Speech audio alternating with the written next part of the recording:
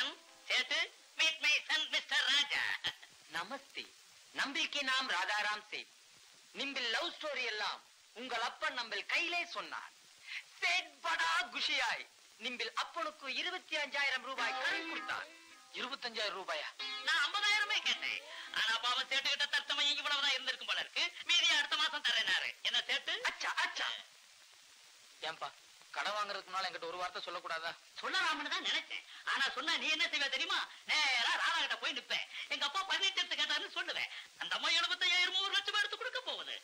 அதனால யாருக்கு கேவலம்? எனக்கு இல்ல. என்ன சேர்த்து நான் என்ன சொல்றேன்னா கடனை வாங்கியாவது என்னுடைய அந்தஸ்த கட்டினா நாளைக்கு சம்பந்தி வீட்டுல எனக்கு ஒரு மரியாதை கிடைக்கும். இல்லையா? என்ன? ராஜா? ராஜா? என்ன மிஸ்டர் சிங்காரம்? உங்க பேட்டா ஏதோ ஃபீல் பண்றா போல இருக்கும் வேற ஒண்ணுமில்ல காதலிட்ட பணம் இருக்கும்போது நான் ஏன் கடன் வாங்கினேன்னு ஃபீல் பண்றேன். டோன்ட் வரி ராஜா.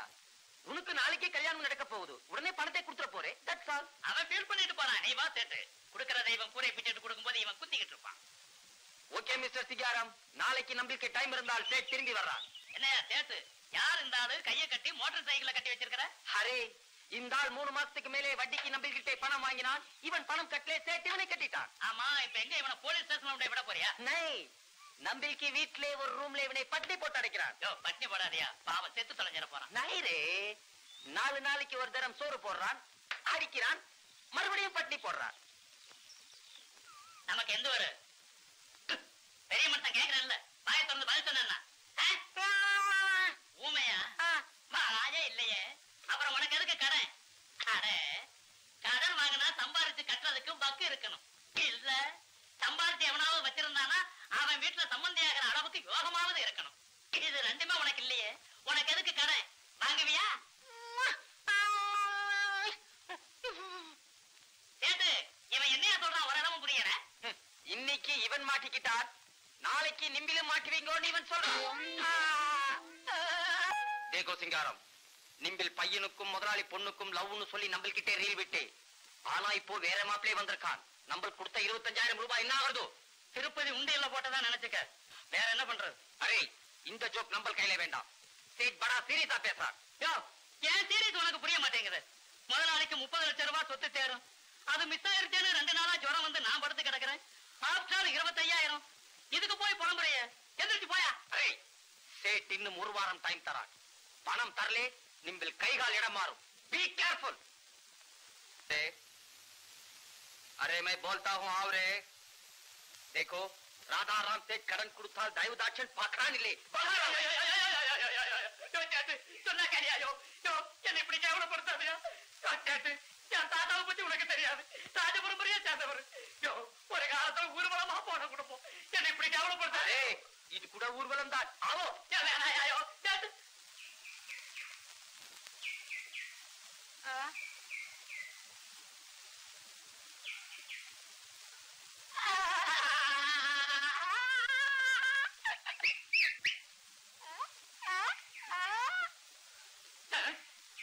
உமையா கொன்றுவோம் உன்னை. உமையா எந்திரிச்சு ஓடிரு வெட்டி புடுவ வெட்டி. ஐயோ சேட்டு சொன்னா கேளையா. ஊமையெல்லாம் எனக்கு கவலைப்பட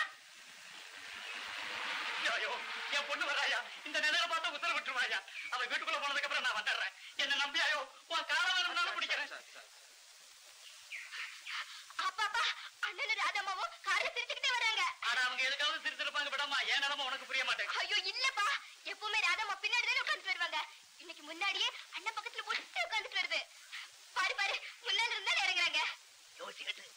அவங்க ரெண்டு பேரும் ஜோடியா இறங்கி வர தோரணையை பார்த்தா எனக்கு ஏதோ நல்ல நேரம் வந்துட்டு போல இருக்கியா? யோ அந்த கைத்த மறைச்சு வையா நல்ல நேரத்துல அவசரம் முடிச்ச மாதிரி.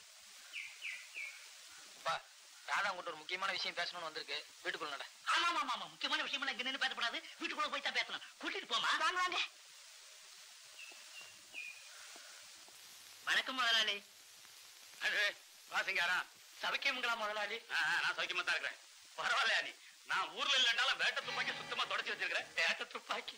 ஆமா நான் நேத்துக்கு மத்தியானம் வந்து இது வரைக்கும் என் கள்ளப்பள்ளி எங்க போயிருந்தீ வீட்டுலதான் முதலாளி இருந்தேன். உங்க முகம் ஒரு மாதிரியா இருந்தது.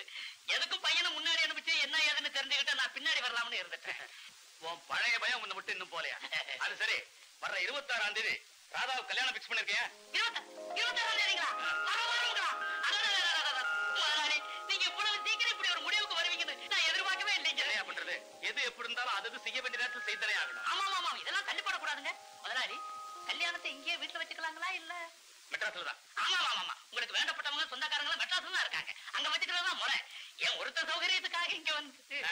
நாளன்னைக்கு. நீங்க மூணு பேர் மெட்ராஸ் புறப்பண்ணியா முதலாளி சொல்ல வேண்டியதுதான். துணிமணியெல்லாம் வாரி பிடிச்சுக்கிட்டு ரயில் ஏற வேண்டியதுதான். அப்புறம் அது சரியில்லை இது சரியில்லை சொல்லக்கூடாது. என்ன?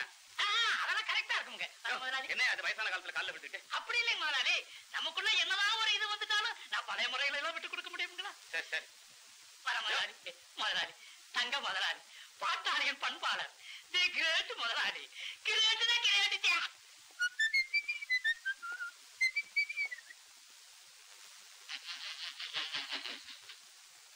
யோ என்னையா?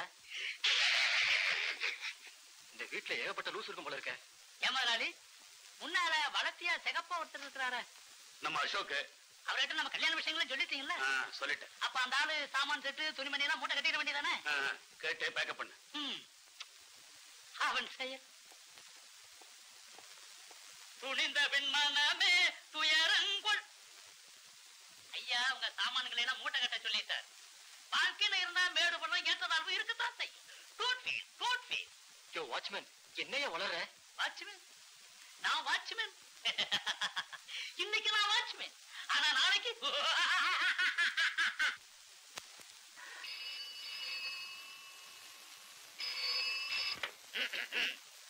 ஹலோ ராவா chit funds guest house watchman mister Singaram பேசுறேன். நீங்க யாருங்க? மிஸ்டர்னு சொல்லப்படாதுங்களா? நான் இருந்து சொல்லாம இருக்கேன் நீங்க யாருங்க? முதல்ல ஆ, ஆ, முதலாளியா? முதலாளி வணக்கம் முதலாளி. சவிக்குமா இருக்கீங்களா? நேத்து ராத்திரி தான் பையன்கிட்ட நீங்க போன் பண்ணீங்கன்னு. என்னதுங்க இடியட்டுங்களா? சரி நீங்க பேசுங்க நான் கேக்குறேன்.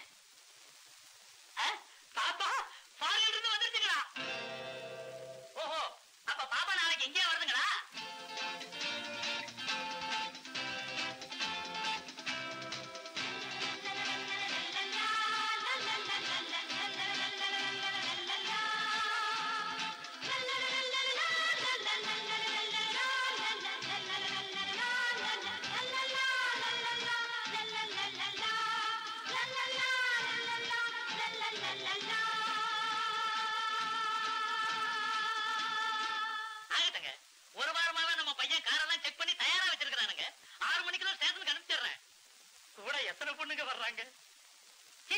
டிஃபன் தயார் பண்றதுக்காக கேட்டேன். அஞ்சாறு பேர் என்னங்க? எத்தனை பொண்ணுங்க வேணும்னாலும் வரட்டும். நான் இருக்கிறேன் பையன் இருக்கிறான். நல்லபடியா கவனிச்சிடுறோம்.